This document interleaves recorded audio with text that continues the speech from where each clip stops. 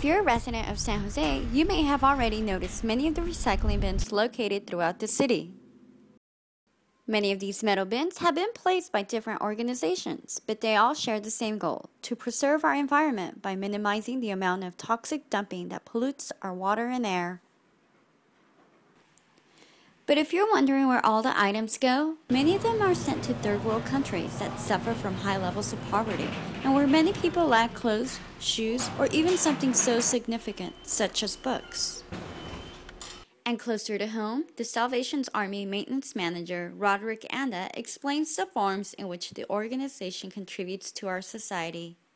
Like I said, the donations, I don't know if people know this out there, but what it does is it helps out the rehabilitation center, which is, um, uh, it's a drug rehab for adults, adult males, and uh, uh, 83 cents out of every dollar you guys um, spend in our stores um, does go back to the, the guys in the center and the rehab, and they don't have to pay a cent to change our lives. And it's a Christian-based program, and uh, we try to aim people towards God and, and getting a better life, so we give a lot of people second chances. Perfect. Thank you so much. The metal bins are usually located in shopping centers, making it convenient for the public to drop off their donation goods. It's convenient. It's on the way to school, and um, you know I bring a little bit at a time, and hopefully you know it cleans up you know around the house and make more room. And it's you know it's it's different location. Maybe different people can use them for other purposes.